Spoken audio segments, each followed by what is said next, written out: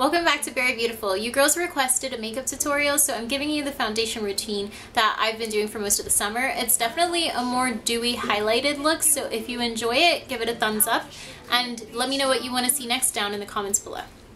I always start off by moisturizing my skin and I'm using rosehip oil because it doesn't break me out. Most moisturizers and in coconut oil included give me really disgusting breakouts but rosehip oil is really non-comedogenic and doesn't do that. Next I'm using a face primer and this is basically just to prevent my whole look from melting under the Florida sun because it's hot outside.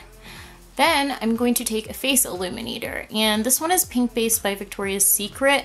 However, it's super old. There's an NARS one that's really similar that you can use if you're looking for one. But I'm just gonna put this all over my cheeks, on my upper lip, and on the bridge of my nose and forehead just to highlight those areas and keep them looking dewy.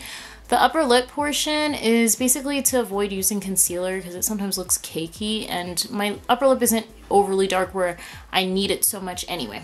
Next, I'm going to be using my Smooth Minerals Powder Foundation from Avon, and I'm just going to buff this in with a huge kabuki brush all over my face.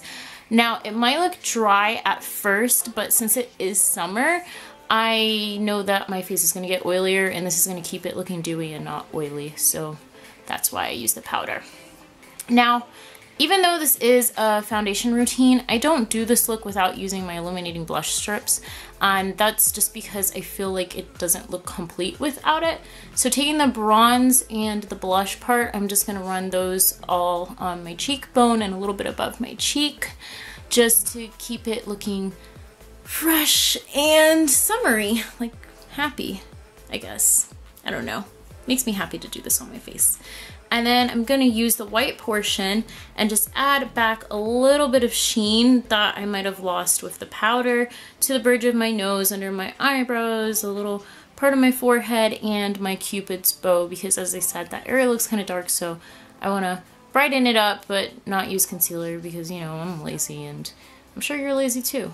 It's cool, it's summer. We can all be lazy together.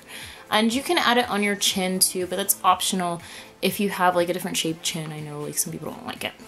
But this is how it looks when it's done. So just gonna awkwardly sing along to a song you can't hear and say goodbye. Thanks.